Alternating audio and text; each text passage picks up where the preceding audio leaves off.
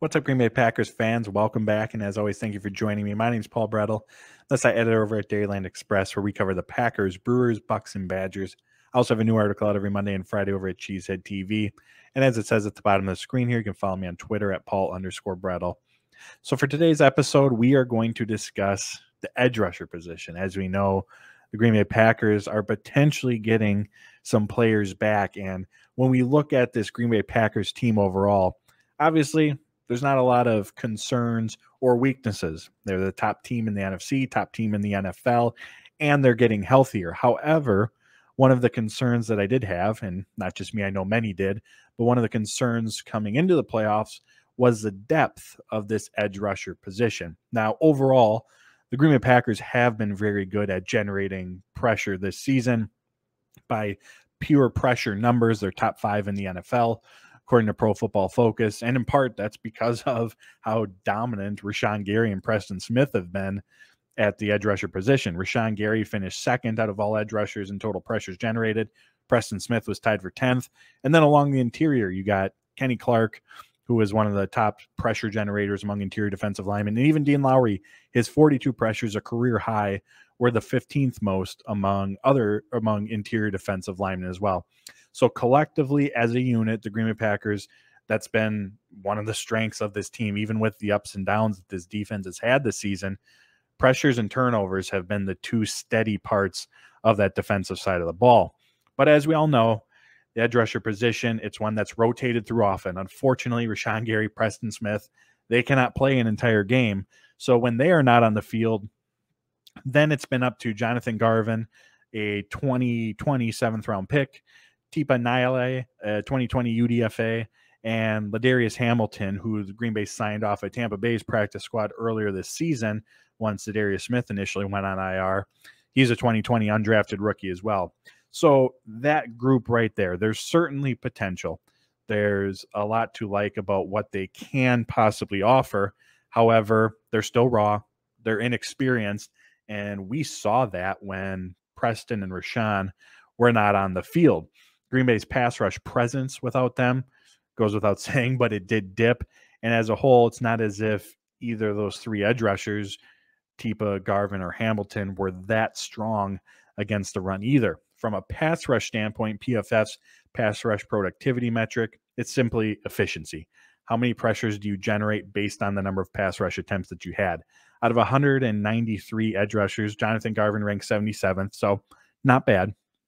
Um, but when it comes to another grading point, Andy Herman of Packer Report, Pack a Day Podcast, he has his own grading system that he goes through. He goes through and grades every player, every play that they have over the entire season. And Garvin is actually his worst graded defender this season. Tipa is his fifth lowest graded defender this season. And when it comes to the uh, pass rush productivity metric, he ranks 159 out of the one 93 edge rushers, and Ladarius Hamilton. Hamilton's only been on the field for 64 total snaps this season, so very small sample size to begin with, but he ranks 130th out of the 193. So obviously there's a a drop off and a rather steep one in going from Gary and Smith to these three. That's not breaking news by any means, but it is the reality of the situation.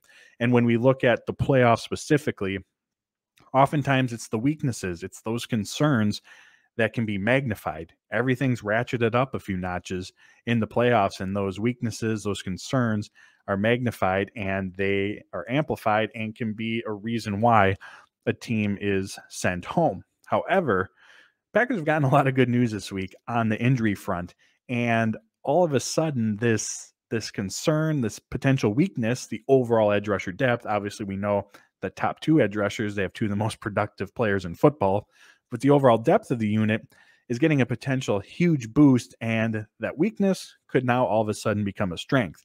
We knew that Za'Darius Smith was working his way back. He was back at practice this week, which opened Green Bay's three week window to activate him off IR and add him back to the 53 man roster. If that three week window passes and he's not added on, he stays on IR and his season is over at that point. And then, in addition to that, and the biggest surprise of the week, I don't think any of us saw this one coming. Whitney Mercilus, he left the Seattle game with a torn biceps. He was back at practice this week as well. He was uh, uh, designated to return from IR. So just like with Za'Darius, his three week window is open as well. And obviously, it goes without saying, but having those two in place of Garvin and Tipa is a massive boost. Za'Darius Smith, his first two seasons here in Green Bay, one of the most productive edge rushers in football, second team All Pro. Whitney Mercilus, he had been struggling down in Houston. He was actually PFF's worst graded defender in 2020. He had only six pressures through the first handful of games he or with Houston prior to coming to Green Bay. But with the Packers, over the three week span from week seven, eight, and nine, he generated 10 pressures, a sack, and in that same uh, productivity metric for week seven, eight, nine, he actually ranked 32nd out of 105 eligible edge rushers. He was used in a very specific role, a pass rush role. On third downs, obvious passing situations, that's when you saw Whitney Mercilus in the game, and he was finding success. And obviously, job gets a little bit easier when you have Rashan Gary, Preston Smith, Kenny Clark alongside you for those pass rush reps. But when it comes to the edge rusher room now, when you have Za'Darius and Whitney Mercilus to lean on when Preston and Gary aren't on the field, obviously that's a huge boost. And I still expect, as good as Za'Darius has been his first two seasons here in Green Bay, I still expect Gary and Smith to be the primary edge rushers. All three are going to be on the field at times as well, but I expect those two to be the primary just because of how well they've played. Whereas Za'Darius, he hasn't played since week one. He's still coming back from an injury. If he can give Green Bay 25 snaps a game, that's what Jonathan Garvin, on average for the 16 games, was giving the Packers. Whitney Mercilus, er, he, if he can give Green Bay 21, 22 snaps, that's what Tipa was giving Green Bay during his seven games with the Packers this season. Again, a huge boost for not just the pass rush unit, but for this defense as a whole.